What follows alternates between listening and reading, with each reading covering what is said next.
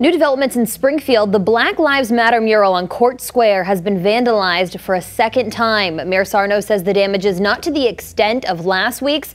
You may recall someone leaving skid marks on the mural with their vehicle just a few days ago. The new damage will once again be cleaned up.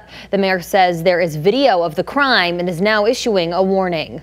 To the individuals looking to desecrate uh, any monuments or murals, uh, smile because you're going to be on candid camera and we're going to get you, and I'm going to make an example. Uh, we're going to make an example out of you. So please, uh, don't do it. Don't do it. A complaint will be issued and those involved will be prosecuted.